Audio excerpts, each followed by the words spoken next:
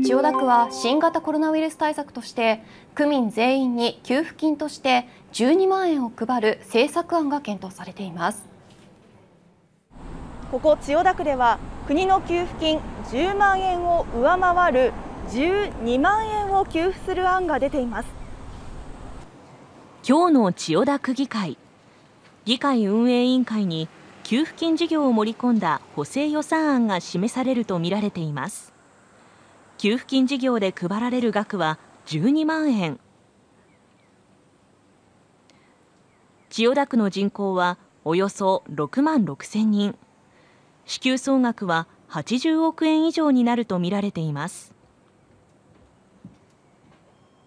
およそ458億円に上る財政調整基金を取り崩し財源に充てることが検討されています。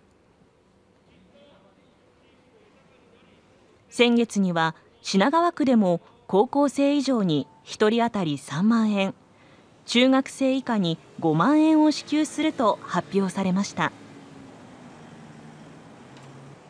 千代田区は給付金の詳細を検討中で給付の開始は9月以降になるとみられています。